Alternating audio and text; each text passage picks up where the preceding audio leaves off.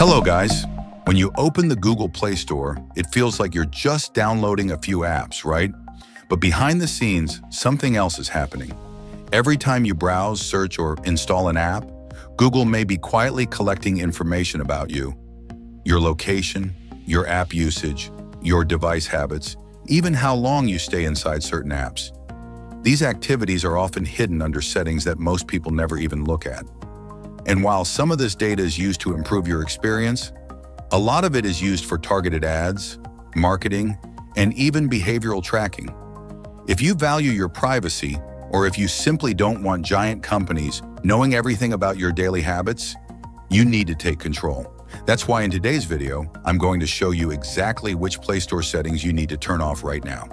Step by step, I'll guide you through each option and explain why leaving even one of them enabled could leave your personal information exposed.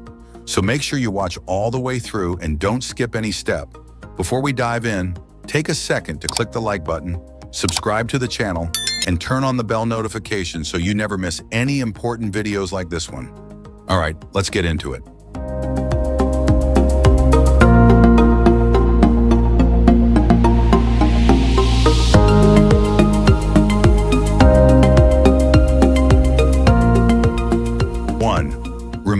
Location permission from Play Store.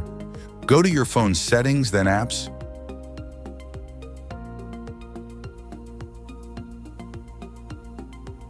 Scroll down and find Google Play Store.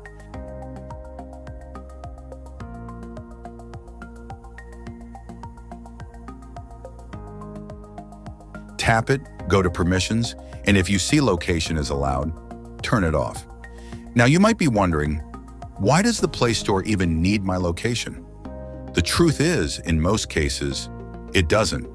The Play Store uses your location to suggest region-specific apps or to personalize your experience. But it can also use that data to feed into Google's ad system and track your regional behavior over time.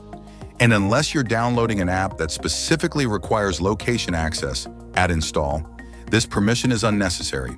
By disabling it, you're cutting off one more way your data can be quietly collected and used in the background. So take a second and remove that location access. Your privacy will thank you. 2. Turn off data collection in Play Protect. Let's talk about Play Protect. This is Google's built-in security system that helps protect your device by scanning apps for harmful behavior. And yes, it's a good feature to have. But hidden inside Play Protect is a setting that most people don't notice, and it's one that quietly shares information about how you use your apps. Here's how to find it. Open the Play Store, tap your profile picture in the top right corner, then select Play Protect. Once you're there, tap the settings icon in the top right to open Play Protect settings. You'll see two options. First, scan apps with Play Protect. This one should stay on. It helps keep your phone safe by checking apps for malware. But the second one, Improve harmful app detection is the one we need to focus on. This setting sends details about the apps you've installed and how you use them back to Google, and possibly even developers, all in the name of improving app detection. While it may sound helpful, it's another form of data collection that most people don't actually need. So go ahead and turn that one off. You'll still get protection from Play Protect, but you'll stop sending out extra data about your app behavior in the background. Now let's proceed to the next one. Three, turn off app install optimization. This one is important because it helps the Play Store automatically optimize how your apps are installed. But it comes with a catch. Here's how to access it. First, open the Play Store, then tap your profile photo in the top right corner. From the menu, go to Settings, then tap About. If you see an option to update Play Store, go ahead and update it. The app optimization setting we want to turn off may only appear after your Play Store is up to date. I have already updated mine. Once you've updated the Play Store, head back to Settings and tap on General. In the General section, tap on App Install Optimization. Now you'll see a toggle to turn this feature off. And here's why you should.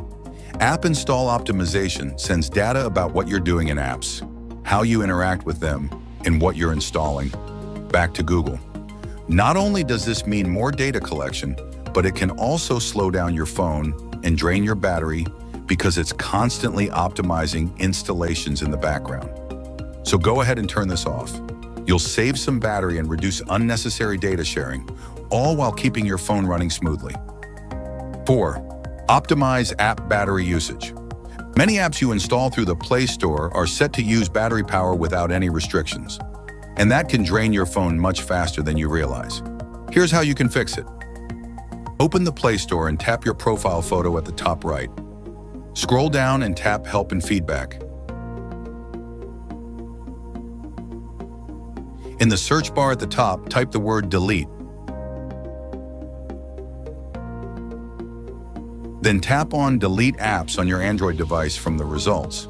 Next, tap the link that says Go to Application Settings. This will open a full list of all the apps installed on your device. Now, tap the Sort button, usually the three dots at the top right, and choose Sort by Last Used. Then tap OK. Start by selecting any app, let's say WhatsApp app as an example. Tap on it, scroll down and tap on Battery.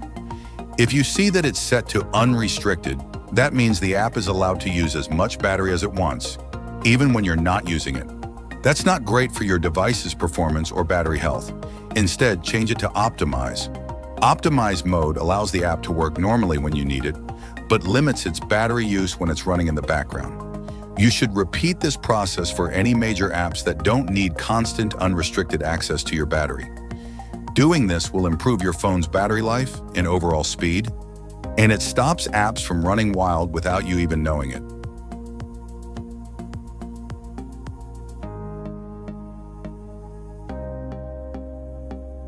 Step 5. Delete your advertising ID. For our final step, let's make sure apps and advertisers can't quietly track you through something called an advertising ID. On your Android phone, open the Settings app, then scroll down and tap Google.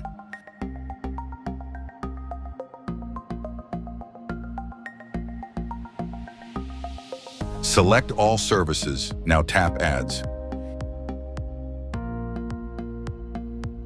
Here you'll see an option that says Delete Advertising ID. Go ahead and tap it, then confirm. What this does is erase your device's unique advertising ID so that apps can't follow you around and build a profile for targeted ads. You'll still see ads, but they'll be way less personal and it will be much harder for companies to track your behavior.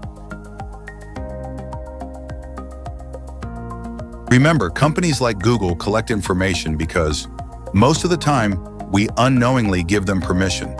But by spending just a few minutes adjusting these settings, you're taking back control of your personal data and making sure your phone works for you, not for advertisers.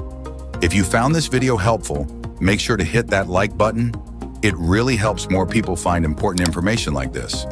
And if you're serious about protecting your privacy, improving your device's performance, and getting smart tech solutions and tips, don't forget to subscribe to the channel and turn on the bell notification so you never miss any of my future videos. Thanks for watching, stay safe, and I'll see you in the next one.